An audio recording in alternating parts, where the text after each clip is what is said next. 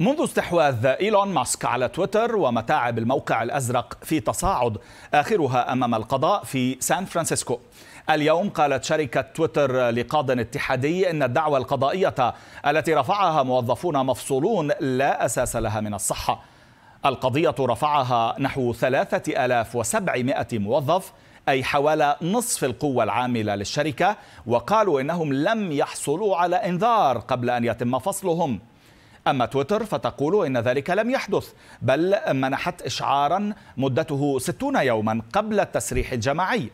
وحذرت الشركة من تأخر صرف مستحقات الموظفين المفصولين طالما استمرت هذه الدعوة أمام القضاء.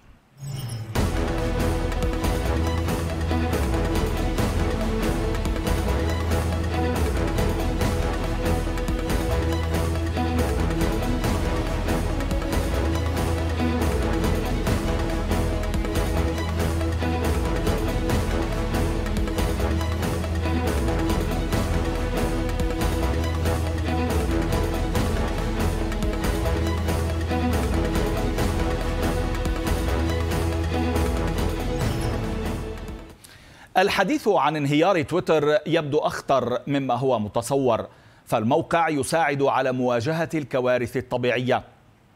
قبل أن تجتاح الرياح الموسمية أندونيسيا هذا العام قام 25 مليون شخص في جميع أنحاء البلاد بتحميل صور ذات علامات جغرافية على الموقع من أجل المساعدة مع وصول الفيضانات. وفي الهند ساعد الموقع السكان في الوصول إلى مواقع لقاحات كورونا. وفي أمريكا ساعد في التحذير من مواقع إطلاق النار الجماعية يقول موظفون سابقون في تويتر إن هذا التواصل الذي يوفره الموقع قد يكون في خطر مع فصل الموظفين التقنيين من الشركة فقد تتأخر الخدمة أو تتعطل حتى.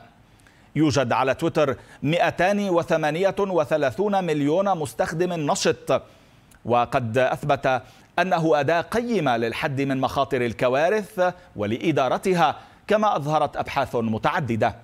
ولكن حينما تأتي الكارثة المقبلة قد يتوقف الموقف كله عن العمل مع الضغط الشديد على الموقع دون وجود تقنيين لمواجهة هذا الضغط.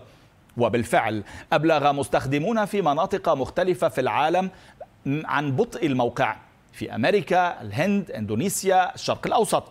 هذا البطء قد يعني الحياة أو الموت في حالات الطوارئ. تقول الباحثة في جامعة ماريلاند كارولين أور سواء كان تويتر أداة تواصل للأفضل أو للأسوأ فلا توجد أداة حاسمة في حالات الكوارث كتويتر.